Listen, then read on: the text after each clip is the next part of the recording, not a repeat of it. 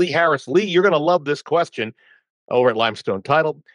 Christmas holidays behind us, of course, but not forgotten. Stephanie sent us an email with an unusual problem. Stephanie says she waited until after Christmas to send the email because down the street, her neighbor went nuts this year, filling up the entire lawn with inflatables. You know what those are, right? Those are those Yes. blow up things, right?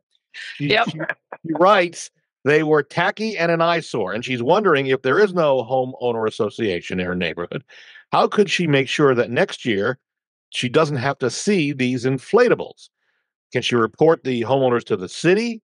And I have some follow up information. So, Lee, legally, is there anything that a Okay. homeowner can do?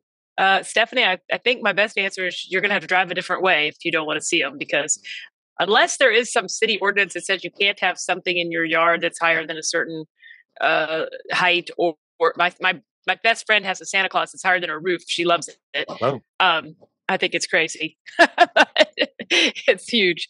Um, but she uh, she unless there's some city ordinance, which I doubt there is because it's a temporary thing, and you know they're, they're inflatables and they're Christmas decorations, and you know, but without an HOA that says you can't put certain things up, you're probably not going to have a lot of luck getting any anybody to take any action on that. Plus, you'll be labeled a Scrooge. Right? in you the Ebenezer neighborhood. neighborhood.